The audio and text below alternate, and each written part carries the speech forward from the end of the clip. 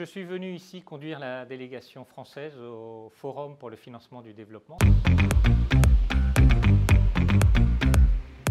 C'est un exercice important pour la France puisqu'il consiste à essayer de trouver davantage de ressources et de mieux coopérer euh, communauté internationale, organisations internationales en faveur du développement à travers le monde. La France est particulièrement engagée. Cela fait en effet plusieurs mois sous la conduite du président de la République française, M. Emmanuel Macron, nous avons euh, lancé le sommet pour un nouveau pacte financier mondial qui se déroulera à Paris les 22 et 23 juin prochains. Nos équipes à Paris et sur le terrain sont mobilisées pour euh, convaincre et euh, associer à la fois nos collègues européens, nos collègues dans les pays en développement, les organisations financières internationales, les organisations de développement.